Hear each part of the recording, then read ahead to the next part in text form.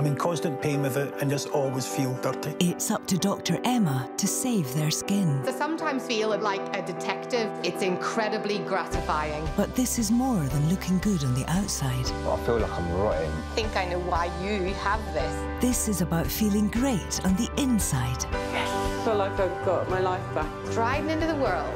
Brand new The Bad Skin Clinic, tonight at 10 on Quest Red, or stream the next episode now on Discovery Plus.